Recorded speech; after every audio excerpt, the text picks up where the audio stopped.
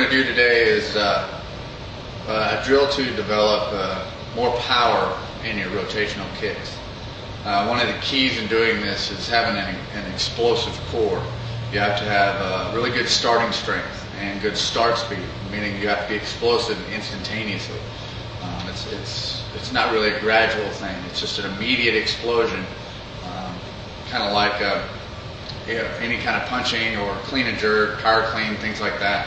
This is a drill starting from a, a neutral position. All you're going to do is open your hip up and throw the kick. The faster you open your hip up, the more uh, the more power you have, the more the more of your core that you will use. So uh, what I'm going to do is I'm going to line up off the bag. I'm going to make sure my right foot, I'm kicking my left, so I'm going to make sure my right foot is in line with the back. So when I step out, I'm actually going to step at a 45 to load my hips and open my hips. I'll step out towards a 45 degree angle.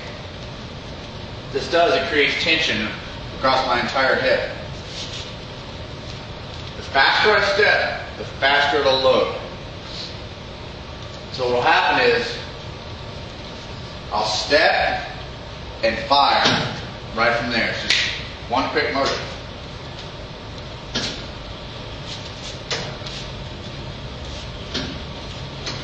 This will be to the thigh. I'm using uh, more of a Thai kick with this.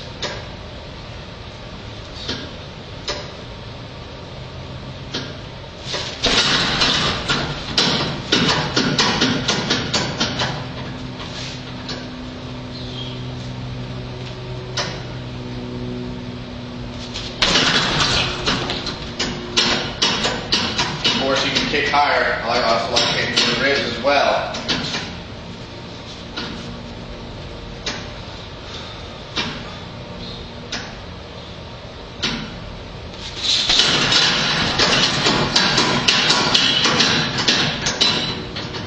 Now with this drill, you really got to make sure that you're going 45 and that you're deep enough. This is a 100 pound high bag, so I got to make sure I'm not kicking the top of my foot at all and I'm landing with the shin.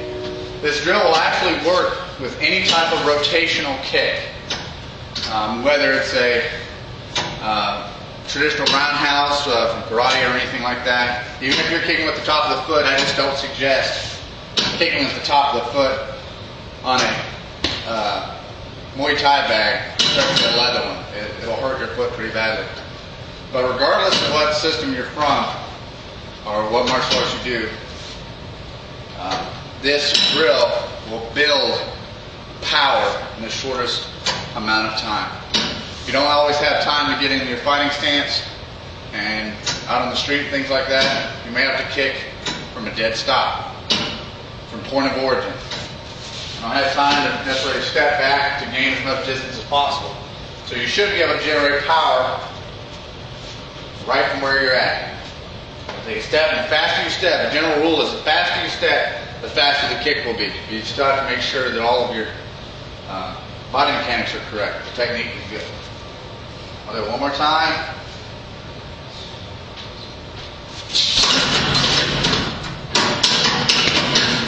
That's one drill for explosive kicking. Last one, come on.